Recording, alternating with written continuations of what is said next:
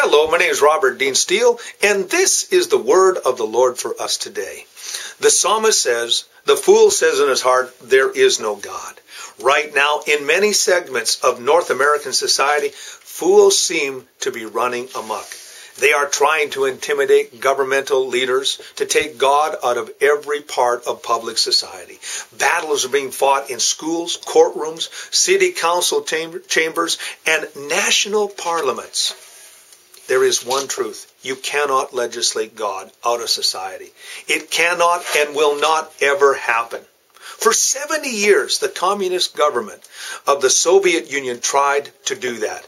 In 1989, this evil, corrupt empire fell, and revival swept across the land. In fact, Russia today is the only country that will not allow the sodomite spirit to have sway in society. Communist China has been trying to suppress and destroy the church since 1949 with no success. The church in China is the fastest growing church movement in the world. You cannot suppress or stop the church.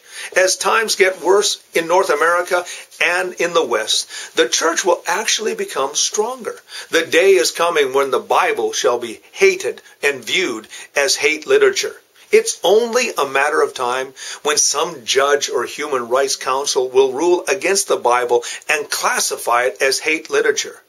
And that will be the day that the church will rise and be the force it was designed to be. That day will be the day that true Christians will uh, pledge allegiance to the Lamb. That is the day when true Christianity will shine. That will be the day we will openly defy the government. As the apostles of old, we will state unabashedly and without apologies, we will obey God rather than man. A day is coming, beloved, when you'll have to decide between family, friends, vocation, state, and society for the Lord. And it's really not that far off. The court system, the law society, and weak politicians are against the church. Our day, however, is not over. The great revival and awakening promised in Joel 2:28 is about to happen. The first soldiers will be the young. There, then all age brackets. It will be a glorious day a terrifying day, a momentous day. Prepare the way in your world.